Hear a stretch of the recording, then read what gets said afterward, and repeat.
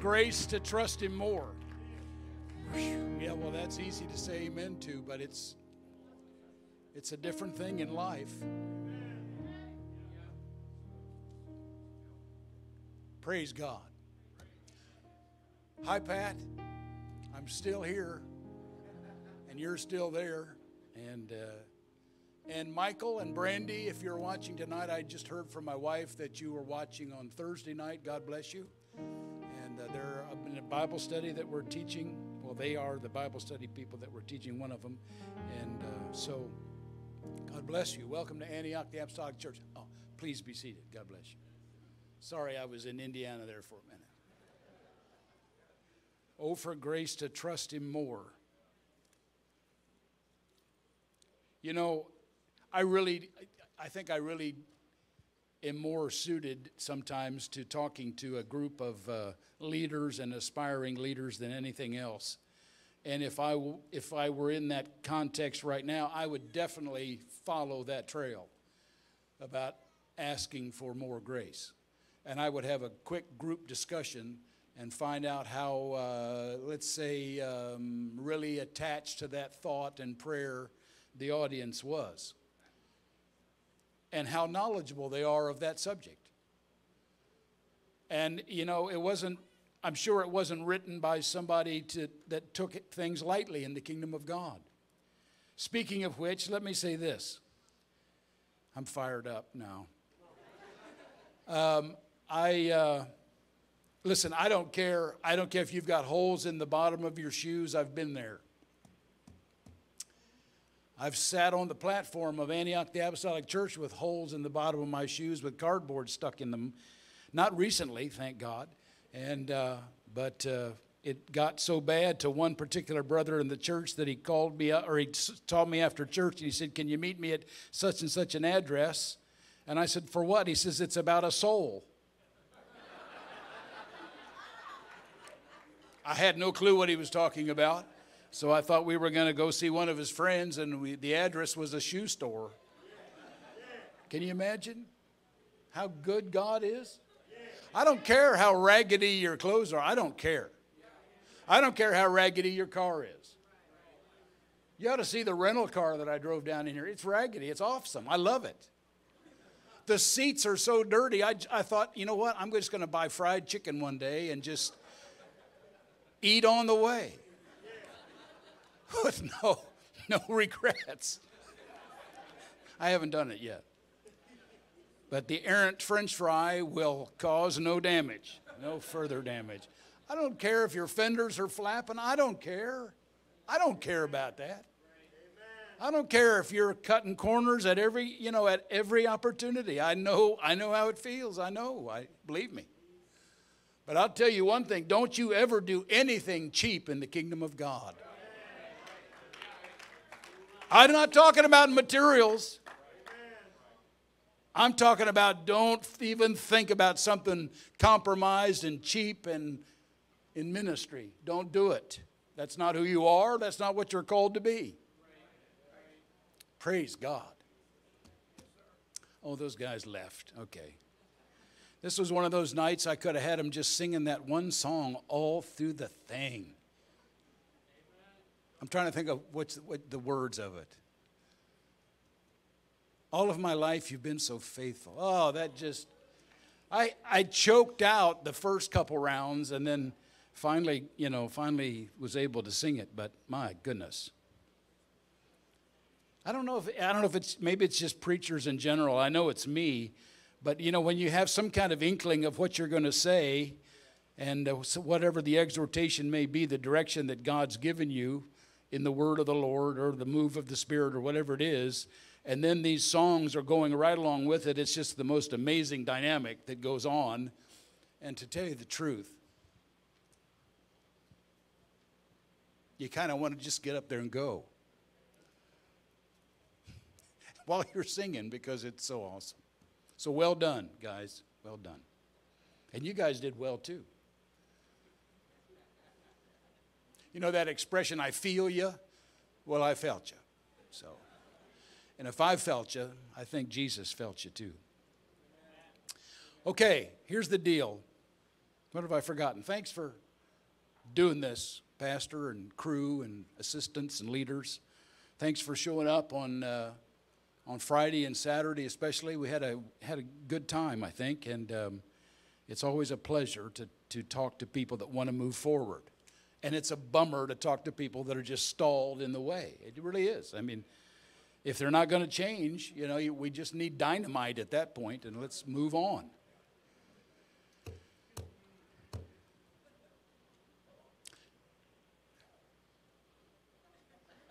Is that little that little thing, the little stand isn't here, is it? Well, bring it. Yeah, let's. I'm going to go down here. I want to.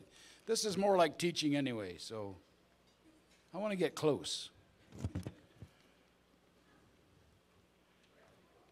Thank you, sir. Ow, ow, ow. Thank you. Easy peasy. Okay.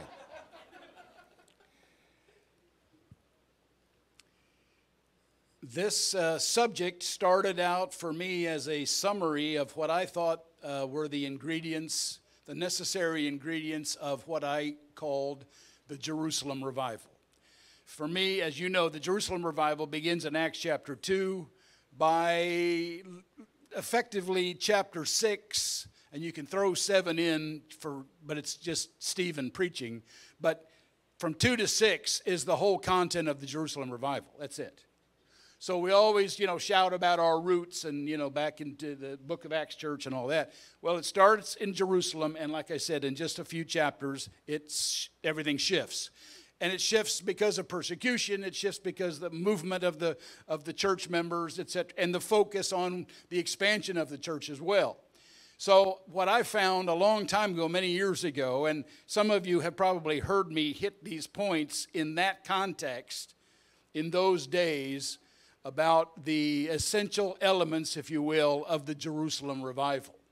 And I called those kind of the, kind of the, uh, well, like I said, the, the, the growth stages of that particular revival. It kind of evolved. I, you know, it's not, it wasn't something, it was, and let me tell you, let me tell you what this thing tonight is not, okay? Maybe make it easier if I tell you what this is not. This is not a list of seven things that I've conjured up that seem very clever and they all begin with the same letter. Nope. And it's not something I got out of a book except for the Bible. And it's not something that I borrowed from somebody else. And it's not something that is just for tonight and then I'm going to forget about it and it just seems like a clever thing to do. Okay? It's none of those.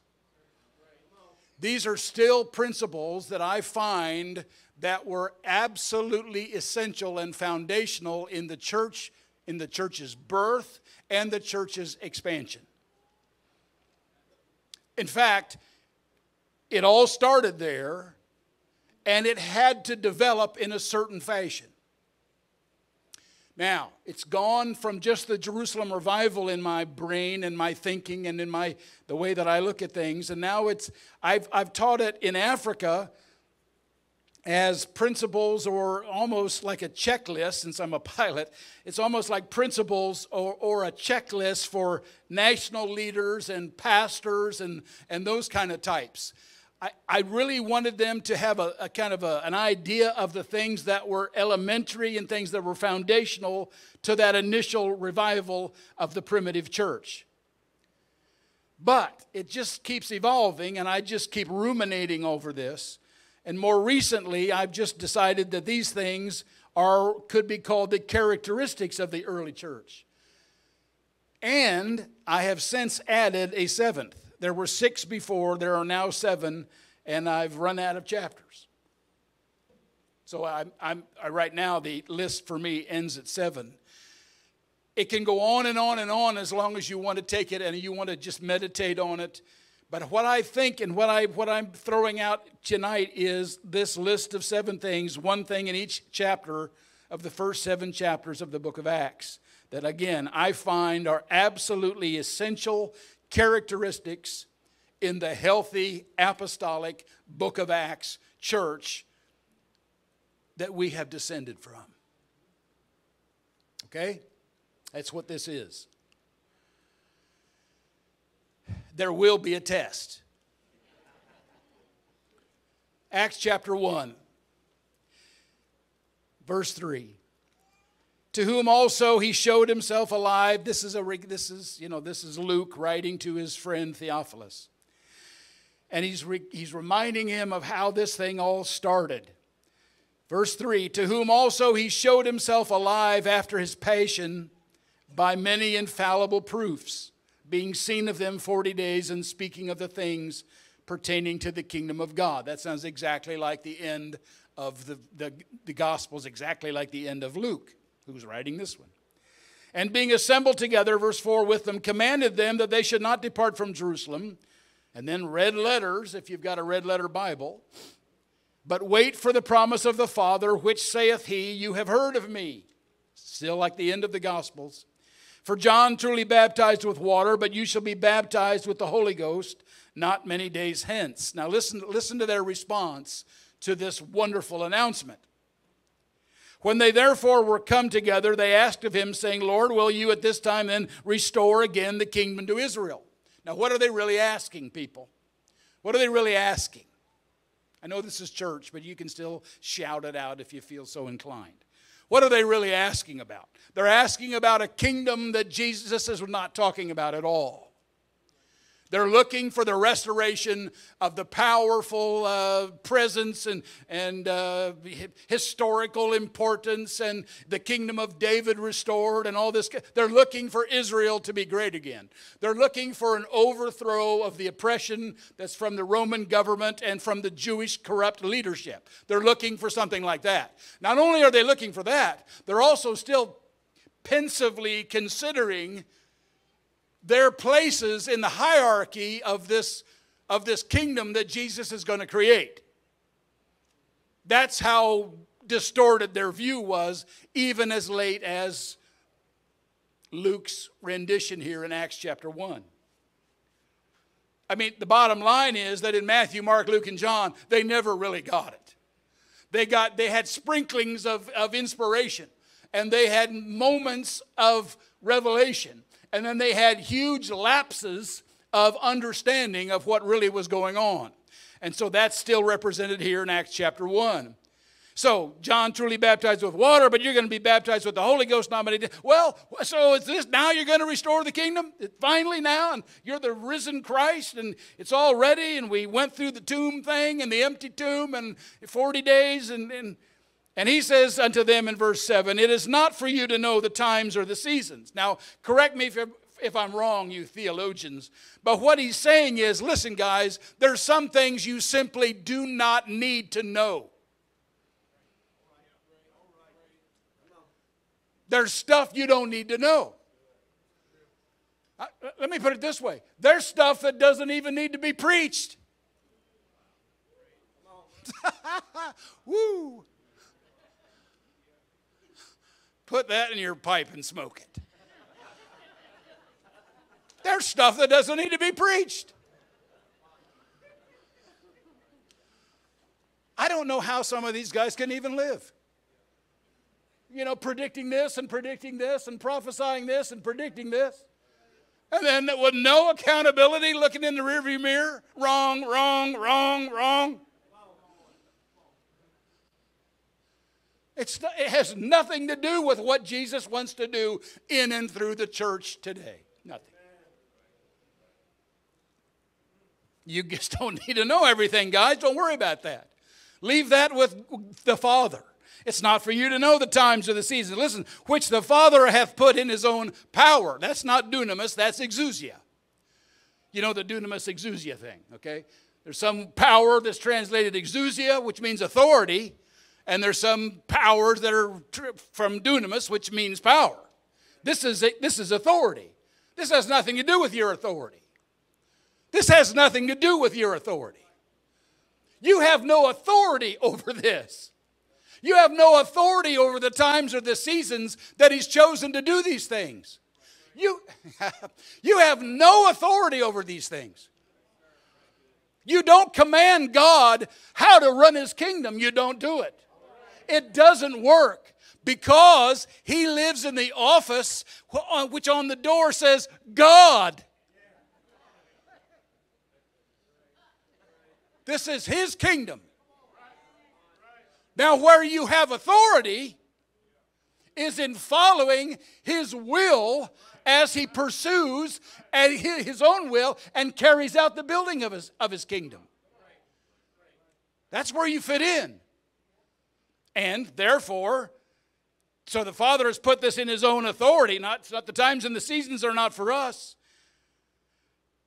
But you shall receive dunamis. You're going to receive the power of God to do what? To carry it out.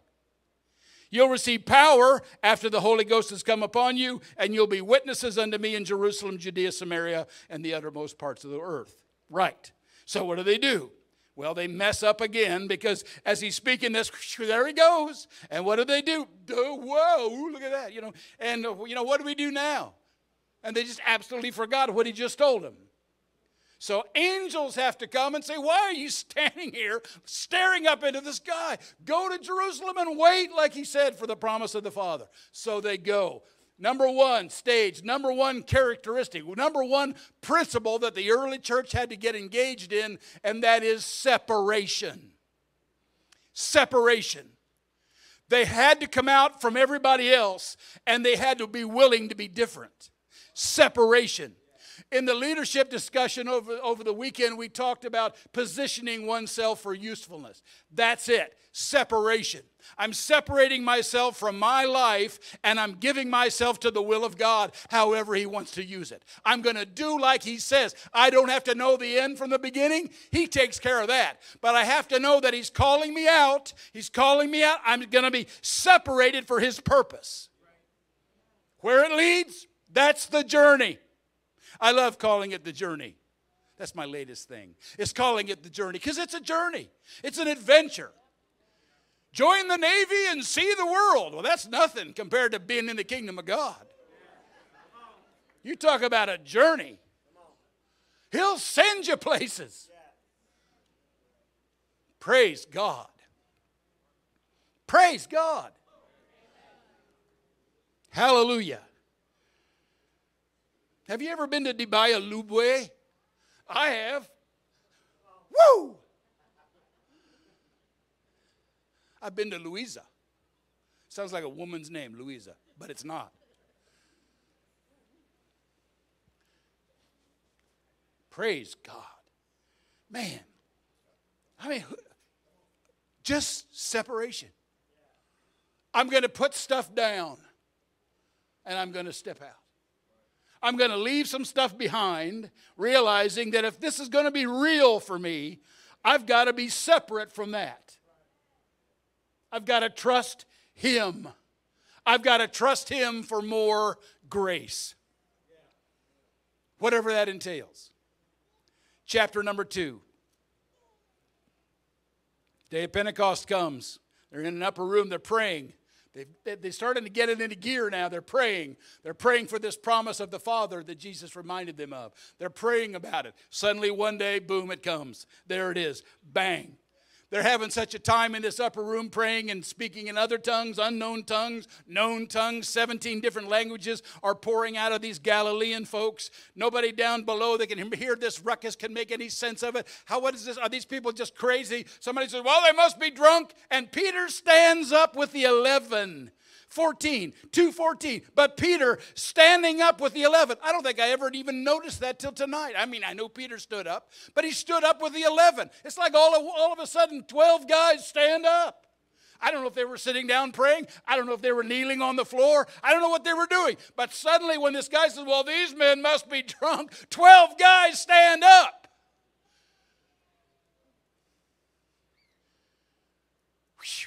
Man, I would have been on my feet if I were you. This front row stuff.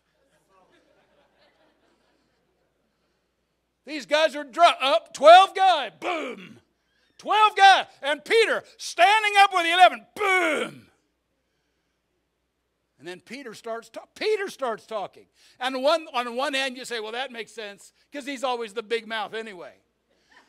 True enough. And he's still going to be a big mouth, but now it's going to be it's going to be moved by God. It's good. and of all things, I mean, picture this. And the 12 guys, Whoa, oh, we're not drunk. And Peter said, These are not drunk as you suppose, but this is that Come on, Peter. Which was spoken by the prophet. Who? Who? That little bitty scroll that we heard 14 years ago in the synagogue? And he quotes Joel from out of the blue. Why? Because he's full of the Holy Ghost. For a moment, the first moment in his life, he gets some kind of inkling about who he really is. You don't know what you really are or who you really are until God starts using you the way he wants to use you. Because you have what? Separated yourself. You've made yourself ready. I'm not like, I'm not going to be like everybody else. I'm not going to be like everybody else. I'm not going to be like everybody else. I'm going to be me, Daryl Savage. I'm going to be me, like we were talking about before, sir. I'm going to be me, and God's going to use my personality, and God's going to use my desire, and God's going to use my zeal, and He's going to give me more grace, and I'm going to find out who I really am.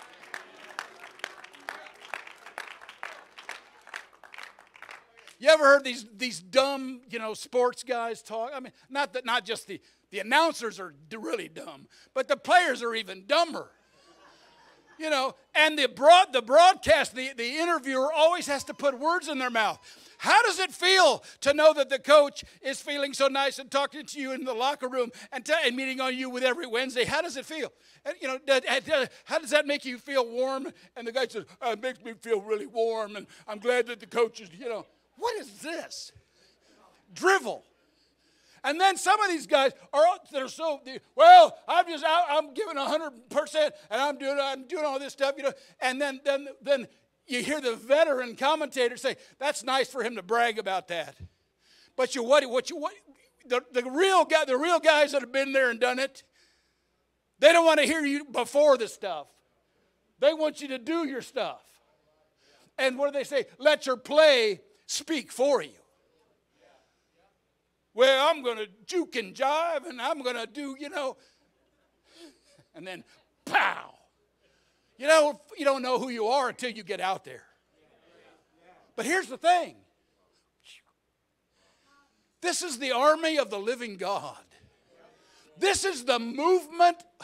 This is the movement that since the from the beginning of time, God has looked for. The, the outpouring of the Holy Ghost, that's a big deal in God's on God's chronometer, that's a big deal. Hundreds and hundreds and hundreds and hundreds and hundreds of years go by. It's been, they've had 400 silent years. You know, still John the Baptist shows up, and then, you know, three years of him and three years of Jesus, and, and, and it's been it's been thousands of years of just people not getting it. And now he pours out his spirit on people. So we're getting to number two here in Acts number two revelation. I mean, suddenly they had a revelation that the time, the time is now. When's the revival begin? Now. What time is now? What are we doing? What's the church doing? Now. What's the church? The church is doing revival now. The church is in revival now. Here's the thing we're not waiting for anything. You're not waiting for some season to come. God's waiting on our season to come. When we show up, it's the revelation. They needed a revelation. Acts chapter 3. Things take a turn in Acts 3 because at the end of chapter 2, it says, without any kind of distinction of who's involved, it says that, that signs and wonders were done by the hands of the apostles, but it doesn't say what and it doesn't say who. But in Acts chapter 3, everything comes to a grinding stop on one man. Peter and John, at the beginning of the chapter, go into the temple to pray, go into Solomon's porch to pray with the other disciples and the other, the other Christians. And suddenly they're passing the same guy that they passed him a hundred times. Every the Bible says he was laid at the gate called beautiful every day. They've gone by this guy hundreds of times pre salvation, post salvation. They see him at the same gate every single day. But one day they stop. One day God stops Peter and John in their tracks because the Holy Ghost says, Stop! Stop and look at this guy the way you're supposed to look at this guy. So they stop. and he puts up his hand to receive the coin because they stopped and they're looking at him. And obviously they're going to give him something. Silver and gold I don't have. But here it comes. He feels that same day of Pentecost thing. Woo. But such as I have. Oh, yeah. And John's going, Go, man. Yeah, such as I have. John says, Let me take over. Now, this is mine. Peter says, This is mine. Such as I have, boom, give I thee. In the name of Jesus Christ of Nazareth. Rise up and walk. You talk about boldness. Come on, Benny Hinn. Come on, you can do better than that, man. You don't see him just reaching down and, you know, lame man pick him up, rise up and walk, and then he just do, do, do, do, do. Uh-uh. It's like some kind of weird, protracted, you know, staged, dramatic theme that, you know, blah, blah, blah. Not Simon Peter. Boom, in the name of Jesus Christ. So the third thing in Acts chapter 3 is what? Participation. Personal participation in what God is doing right now. Right now. Okay, so here's what I'm saying. I'm saying these, I'm calling these seven things, these are principles.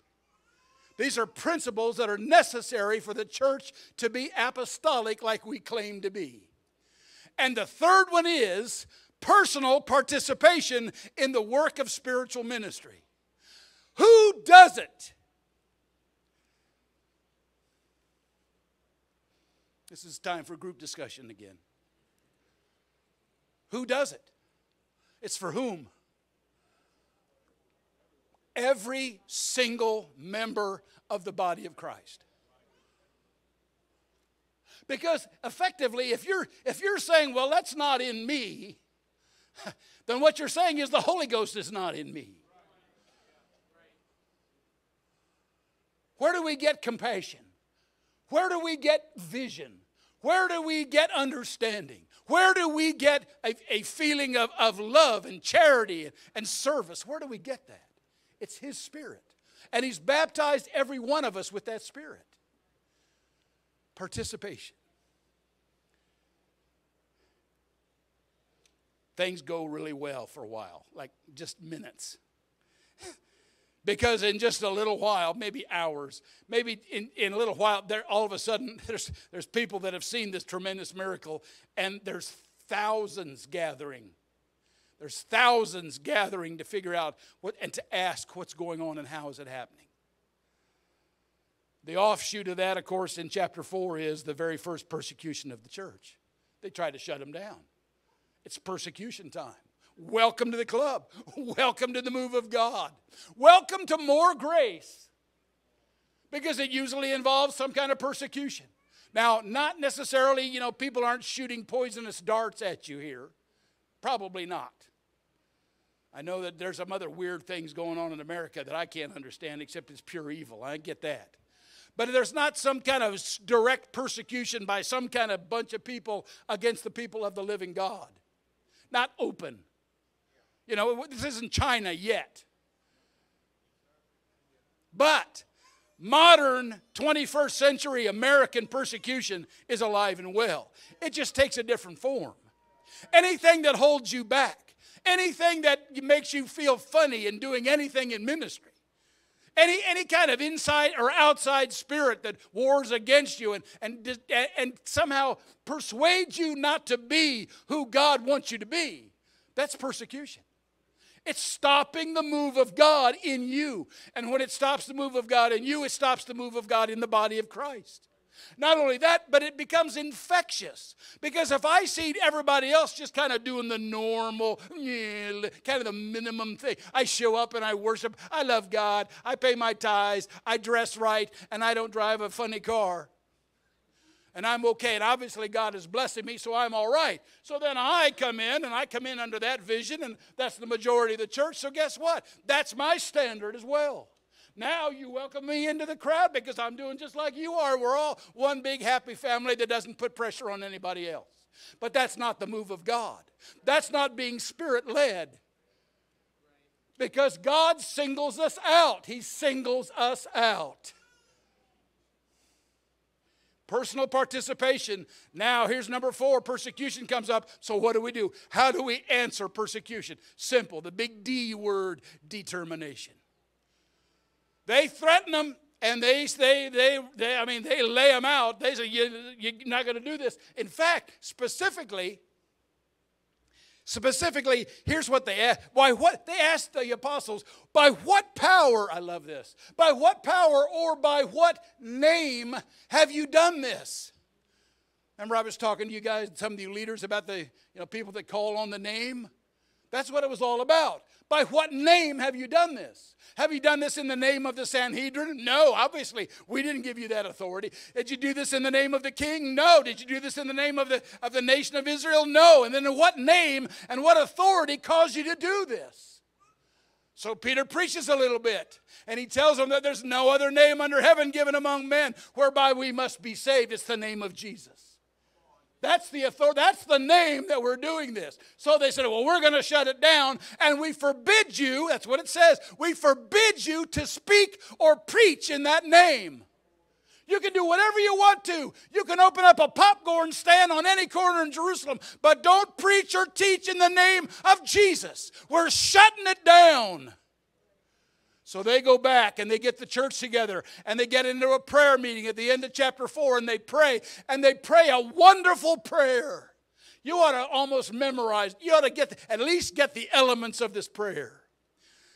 And when they heard these threats, they lifted up their voice to God with one accord. And here's what they prayed Lord, you are God, and you're the one that made heaven and earth and the sea and all that in them is, who by the mouth of your servant David has said, Why did the heathen rage and the people imagine vain things? The kings of the earth stood up, and the rulers were gathered together against the Lord and against his Christ. They, they rallied together against the Christ that was sent from heaven. For of a truth, against your holy child Jesus, whom thou hast anointed, both Herod and Pilate and the Gentiles and the people of Israel were gathered together to do what? To kill him. But here's what they pray. What they did, they gathered together to do whatsoever your hand and your counsel determined before to be done. All these enemies, with all their threats, even to the point of killing Jesus on a cross, the only thing they were doing is carrying out the will of God. So they remind God of what He's already done. But listen, when you remind God in your prayer, you're not reminding God, you're reminding you. Because it takes guts to say stuff like that.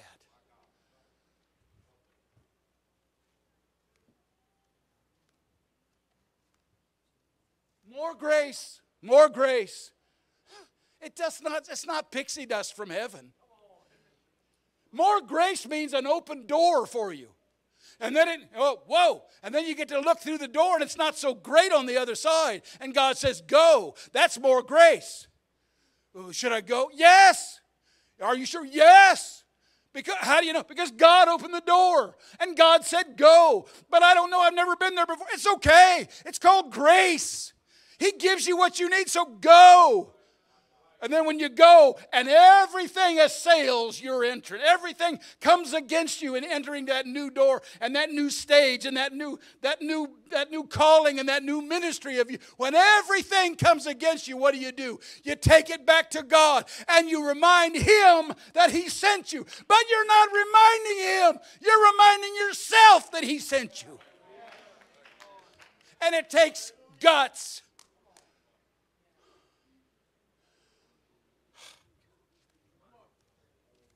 determination. You're going to have persecution. You're not going to feel like doing all these great things. It's easy to sing about them. It's easy to rejoice over somebody else's testimony. But you need your own. So they prayed.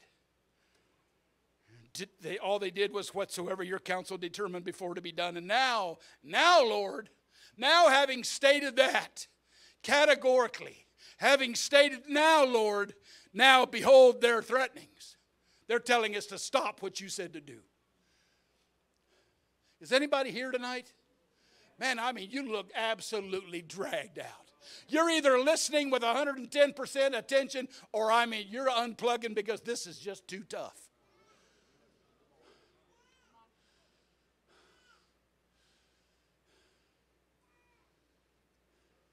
Now, Lord, look at the threatenings. Now, Lord, we're bringing the threat, we're bringing the persecution and laying it at your office door, God. And what do we specifically pray for? Be careful as you read this, be careful. Don't get it wrong, get it right. Get it right. And now, Lord, behold their threatenings. And grant us what? Grant us, grant to your servants that with what? With all boldness they may speak your word. And then they add the by stretch the boldness for them comes by God stretching forth his hand and doing things. They are not asking him to just do things and wow all the people. They're asking them, God to, to give them boldness by continuing to stretch forth his hand and do whatever miraculous thing he chooses. Whatever miraculous thing he chooses. Whatever miraculous thing he chooses. Or what he chooses not to do. He doesn't have to answer your prayer for the miraculous. He doesn't have to do that. You can command this leg to be made whole all you want to, but if it's out of the will of God, it's not going to happen. It's not going to happen. But if you ask anything according to His will, it's going to happen. So why don't we do what? Let's find out what the will of God is. How do you do that? You participate. Like in Acts 3. You participate in Acts 3, and then guess what? He brings you into Acts 4. And now you got to live up to the task with determination because somebody's going to stop you. And it may not be anybody else but you. So they have this great prayer meeting. The house is shaken. Awesome. I mean, it's a tremendous thing. And there they go out, and boom, they, I mean, they crush it in Jerusalem. Thousands come in. Thousands come in. And then we get to chapter number five. And you talk about stuff coming to a grinding halt. It comes to a screeching halt in, in Jerusalem. Yes. Who did that? I thought I heard some. It was a baby? That's like the dog. I said screeching halt, and the baby goes! I love preaching here. Because there's always somebody. Anyway, it comes to a, are you ready? It comes to, it comes to a screeching halt. Screeching, I mean, dead stop. Funny because at the end of chapter four, things are just cooking with oil. I mean, it's going, it's going great. I mean, it was going great. Now people are selling things and bringing bags of money and laying them at the apostles' feet and and just do what you want. I just this is just I mean, who cares? You know, here you know, we're just ready. And then 5. But there's this guy named Ananias. You know the story if you've been in your Bible very much. Ananias and his wife Sapphira. And they're, they're, in a, they're in an absolute dilemma because they, they've, they've sold a property and they want to give some money that makes it look like they're doing what everybody else is doing. They're in the, they're in the same spirit, you know, but they don't really want to give it all. So why not just tell the pastor? Why don't they just tell Simon Peter, hey, I sold this thing and I don't want to give it all, but I want to give you this? And Simon Peter would have said, bring it, bring it. And he would have had you testify after the, after the other guy who gave it all. it would have been awesome. But no way. He's got to fit in by some other standard. He wants to fit in to this group that is separated and is revelated and is participated and is determined. I know I'm making him up. He wants to participate without paying the price. So he's going to keep this, and his dog, he's going to do it by, by a ruse, and nobody will ever know. Yeah, right. You forgot about the office with the thing says God on it. Who's in direct communicado with Simon Peter? So he brings it. Here it is. Immediately, Peter said, What in the world are you doing? How in the world did you determine to lie to the Holy Ghost? I can just imagine Ananias. You know, Can you? Oh, man. One of the worst feelings of my entire life. This is going to sound funny and crazy, and don't get spooked out. I woke up from a dream. In the dream, I, I hear me, okay, closely. I, I, I, I had, I, it didn't happen in the dream, but I had, I feel bad telling this. Maybe I shouldn't tell.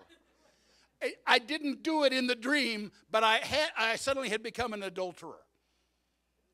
That's, it's happened. I've had one dream like that.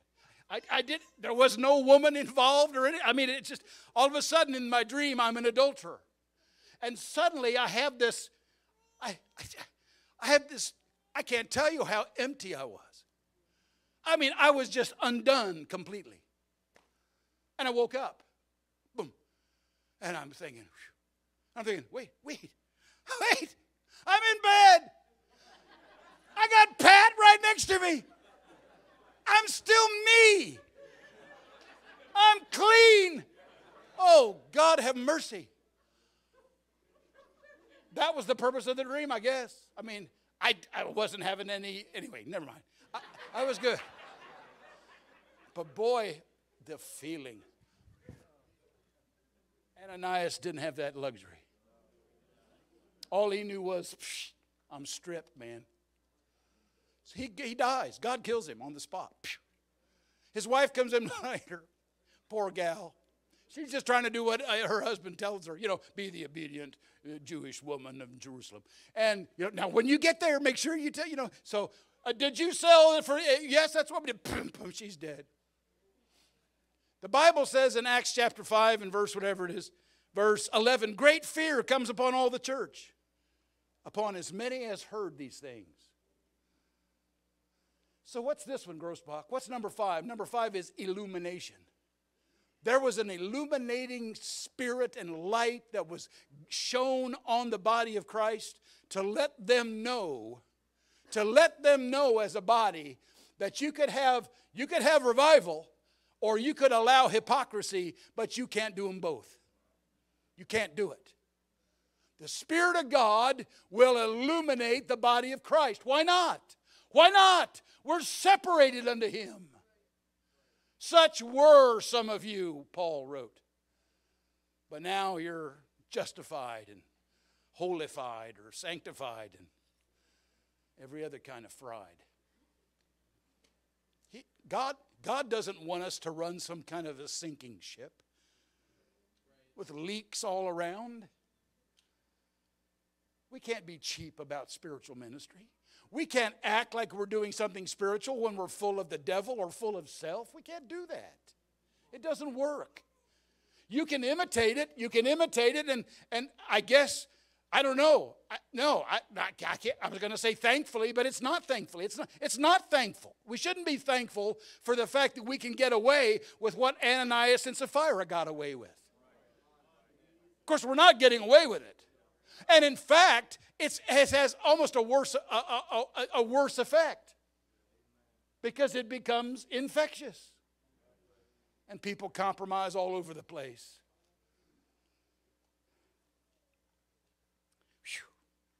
Fear comes on all the church. Chapter 6 is significant in one, one big word and one big way, and that is they had to understand the principle of multiplication.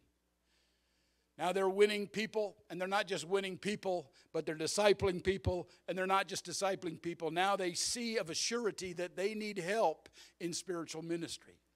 They need to put people in positions of spiritual authority that are submitted to the vision of the church. And that's what they do. And the church, it says, it says specifically in verse number seven of chapter six that the word of God increased and the number of the disciples multiplied in Jerusalem greatly, and even a great company of the priests were obedient to the faith. This thing was cooking again. They had sorted out the hypocrisy.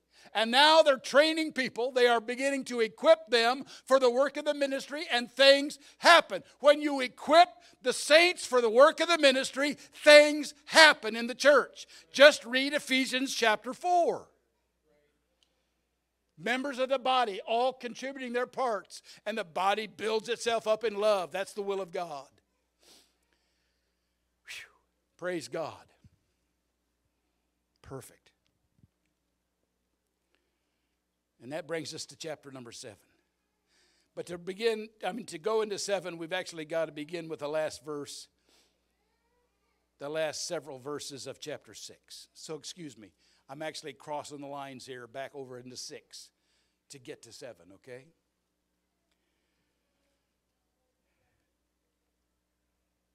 Verse 6 and verse 11. They suborned men. These are the bad guys. These are the, the Jewish elders that don't like the church. They suborned men, which said, We have heard him, that Stephen, Stephen, who was one of the ones that's been multiplied, and he's become a deacon. He was appointed as a deacon in the church. We've heard him speak blasphemous words against Moses and against God. Absolutely false. Absolute rubbish. Absolute, total, unadulterated rubbish. He's spoken against Moses and against God. And of course, that stirs up the people and the elders and the scribes, and they came upon him and they caught him and they brought him to the council.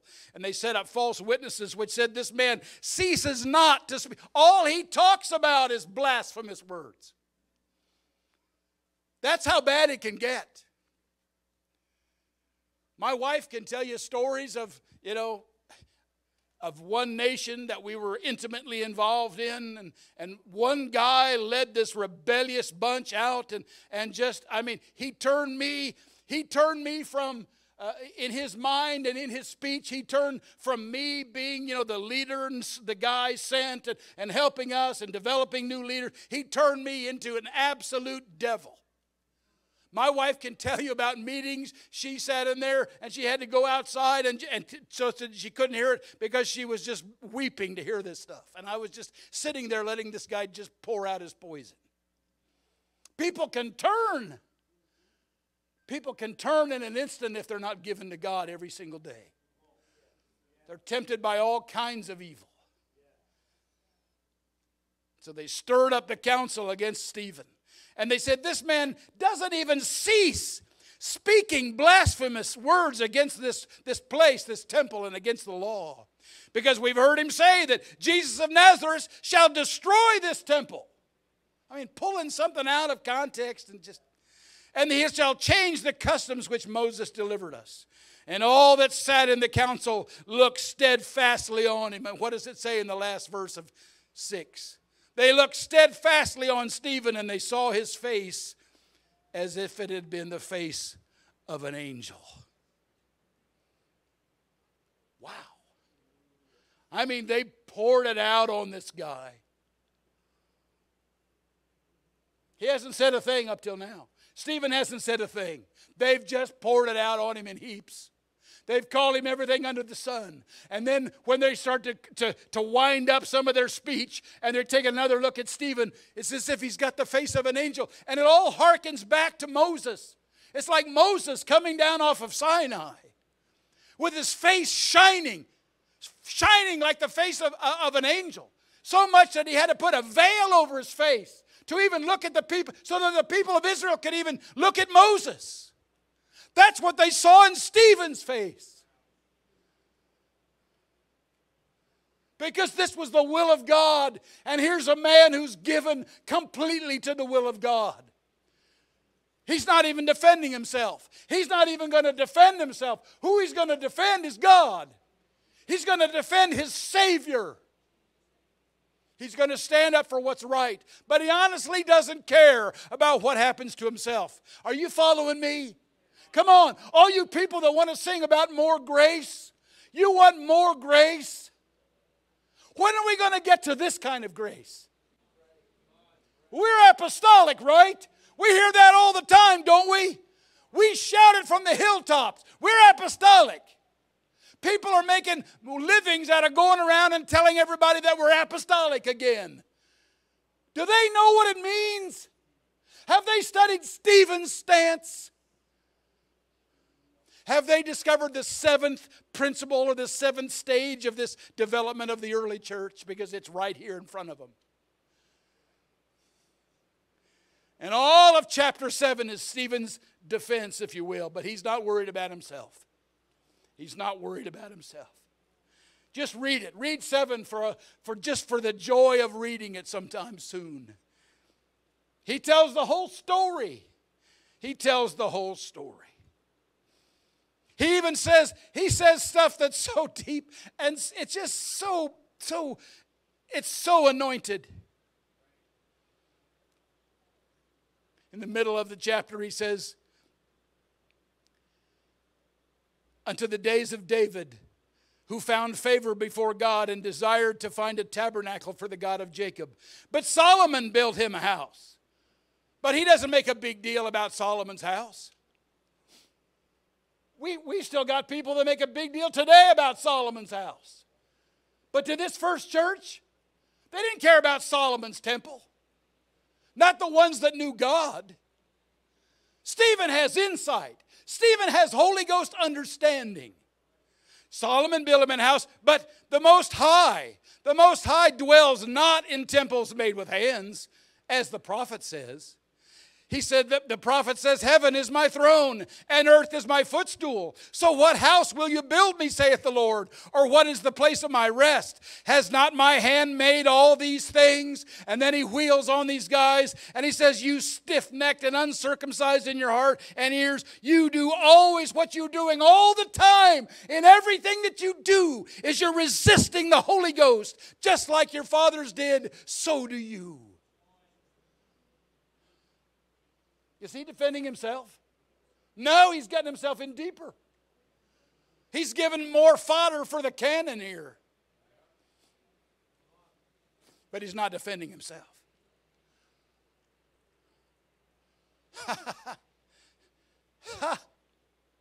Do you know what? Read your history. Read your history of these apostolic fathers. And you'll find that one of their great desires, one of their greatest desires, was to die like Jesus.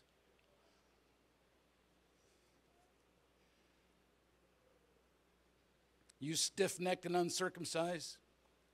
You're always resisting the Holy Ghost as your fathers did so to you. Which of the prophets have not your fathers persecuted?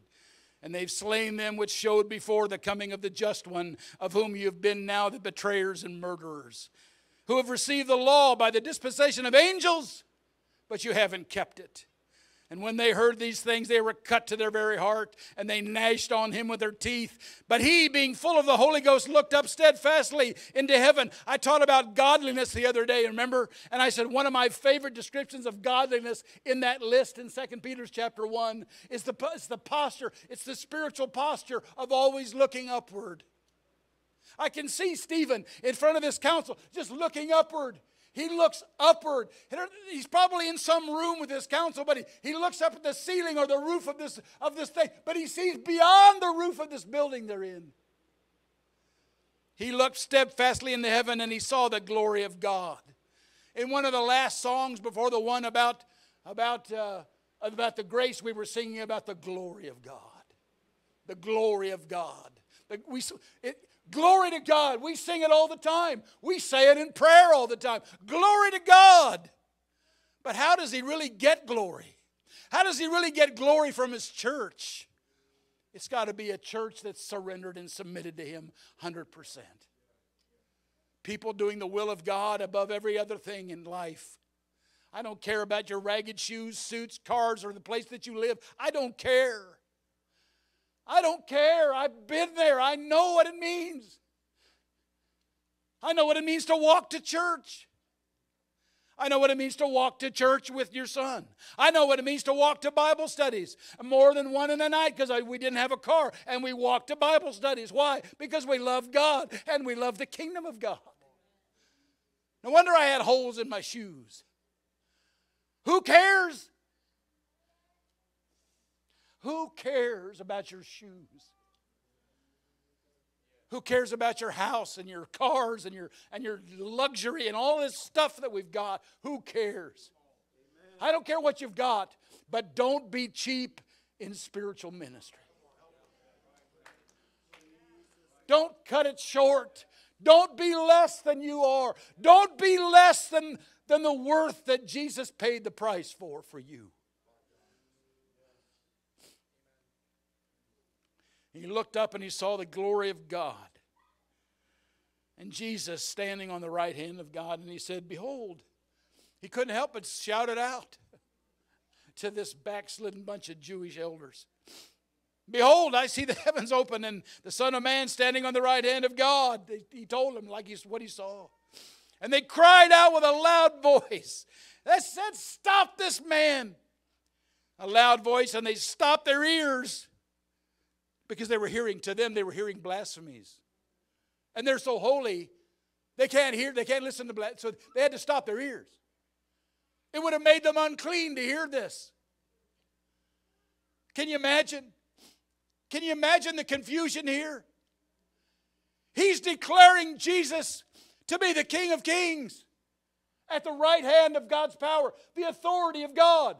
God on the throne in the, in the face of Jesus is what he's seeing. And they stop their ears so that they don't get unclean by hearing the truth. And they ran upon him with one accord and they cast him out of the city and they stoned him. They found those stones and they stoned him. And the witnesses laid down their clothes at a young man's feet whose name was Saul. And they stoned Stephen, calling upon God. Who was calling upon God? Probably both groups. Stephen was calling upon God because he loved him, and they were calling upon God because they thought they were doing the right thing. But Stephen was saying, the difference was Stephen was saying, Lord Jesus, receive my spirit. And then almost, it's almost too good to be true. The next verse is so wonderful. And he kneeled down under the pain and the blows and the bleeding and the weakness. He kneels down and he cried out with a loud voice, Lord.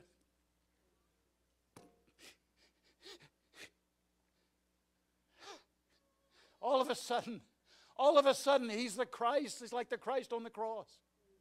He entered this place. Oh, for grace to trust him more. How are you going to enter into that grace?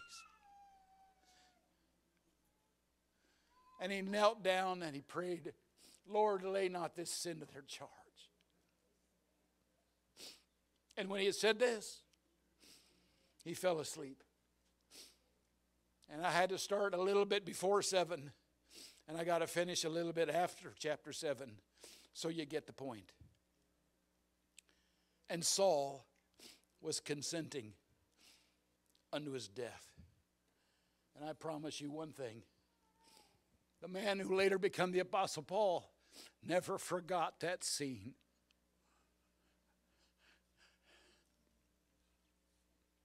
He never forgot.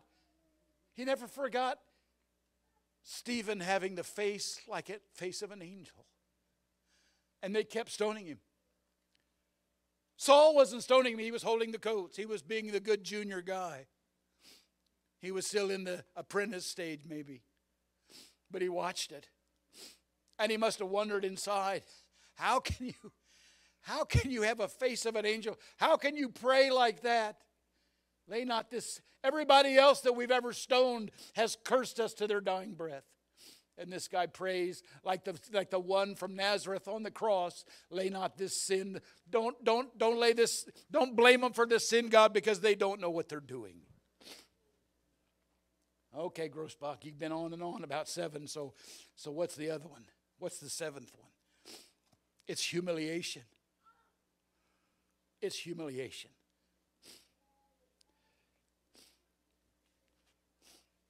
I'm not a dictionary preacher. I'm not a dictionary preacher.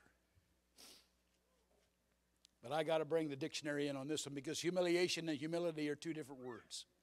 I know they're like this. I know they're, bro- they're like twin brothers, but they're different. Humility can happen personally, and it needs to happen personally. And you'll never know what I mean about humiliation in chapter number seven unless you begin to delve into real personal humility. You can practice humility, you can learn humility, you can learn life lessons and gain humility. Your, God will give you chances. There's no question about this. I'm telling you the truth now. God will give you chances and places and times and opportunities where you can show humility. And what you do is up to you. And nine times out of ten, people choose the other way. They choose pride, They choose self esteem or self merit or self dignity or self worth over humility, and especially the humility that's required in the kingdom of God. But God will give you times and opportunities to demonstrate that you're learning personal humility. The Bible tells us that we ought to esteem others better than ourselves.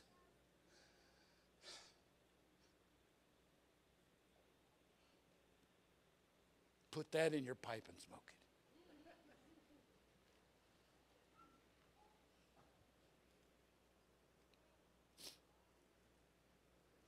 I don't know. I don't know.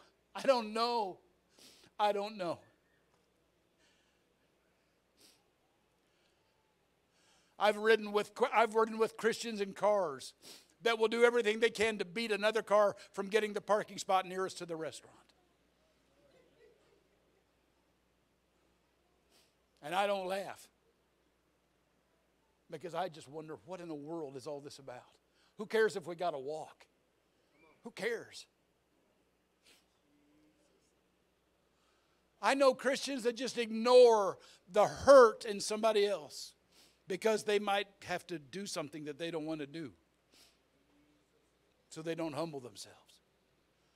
I know Christians that won't repent in front of others. I know Christians that won't forgive others. They sit on their throne like God and they judge other people and they never get off that throne long enough to say, I'm sorry because I'm worse than you are. Forgive me. God will give you times when you can learn humility, but it's up to you. And if you can't learn that, you'll never understand humiliation. Humiliation is different from humility because, like I said, humility can be a personal thing. It's a personal thing, it happens in here. Humiliation takes a third party, it takes somebody else perpetrating something against you. It takes an Acts 7 experience where they speak wrongfully of you where they run you down, when they spread rumors about you. I don't do social media. I, I can email me if you give me, if you make it simple, I can email you back. I don't text unless it's absolutely imperative. I, don't, I just don't, I don't, I, I'd rather talk to you on the phone. And I don't even get close to Facebook or, you know, tweeting people or whatever else they do. I don't care about that stuff. I don't want to be involved. I know I'm a dinosaur. That's the way I am. I know you've got to do it. I know it's about business. I know it's about getting ahead. I don't care about that. I want to be disconnected from it. But I do know that people are just crushed all the time because people treat them wrong on a social media in a medium where they don't even know the other person on the other side. They can't even be humiliated by strangers and get over it. Let alone people that you thought were near and dear, but then let you down when push comes to shove.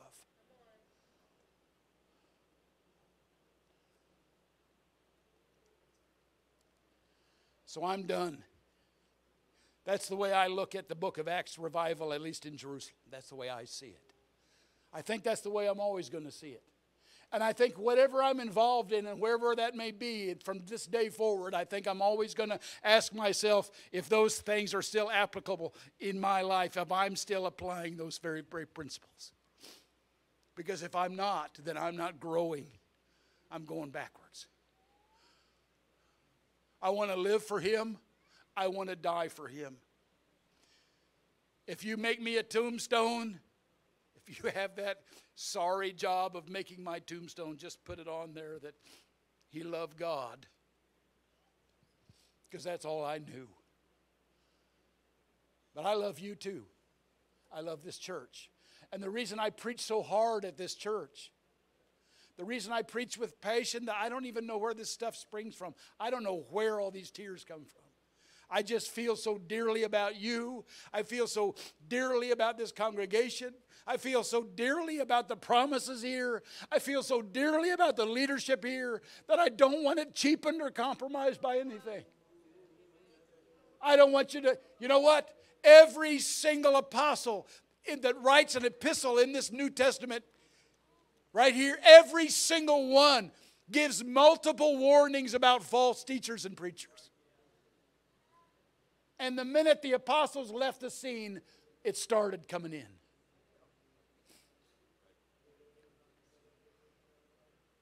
There were many a tear stains on some of those some of those letters that they sent out to the churches, I promise you, because they loved those churches. Look at Paul's look at Paul's passionate letter that we call the book of Romans.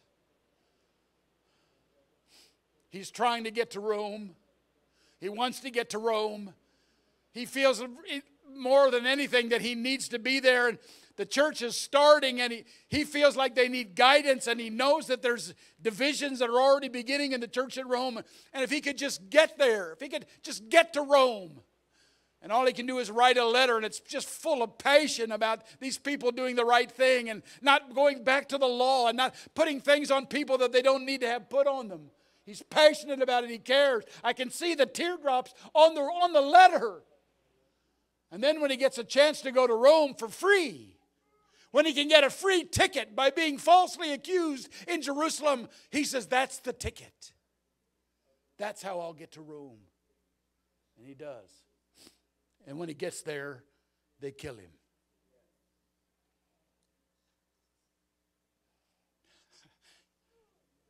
Oh, for grace to trust you more.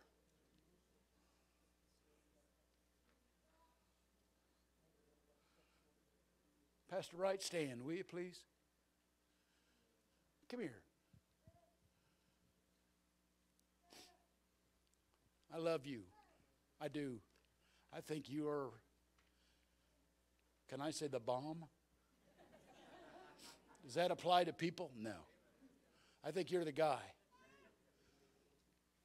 I think he's the man for this congregation. I do. I do.